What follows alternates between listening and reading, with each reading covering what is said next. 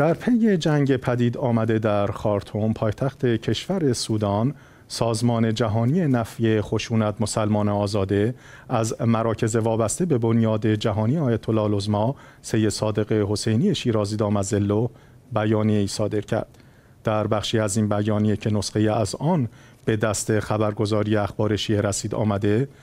در کمال تأسف این سازمان وضع استثنایی که بر خارتوم پایتخت سودان حاکم است را زیر نظر دارد و وضعیت غیر مسئولانه جاری و نیز شعله ور شدن چالش میان نیروهای رسمی و نیروهای مسلح را محکوم می کند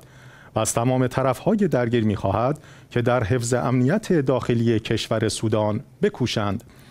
این سازمان همچنان از سازمان کشورهای عرب تحصیل گذار می خواهد پیش از آن که فرصت ها از دست بروند در سریعترین زمان در این منازعات دخالت کند تا مبادا وضعیت خطرناک سودان کشورهای منطقه و جهان را فرا بگیرد. سازمان مسلمان آزاده در بیانیه خود تاکید کرد که اعمال و رفتار خشونت آمیز جاری هرچه بوده دست و جریانی که در پس آن قرار داشته باشد محکوم به شکست است. لذا از اطراف منازع می‌خواهد راه گفتگان گفتمان و تفاهم دوستانه را در پیش گرفته و از ادبیات خشن و جنگ و کشتار دوری جویند.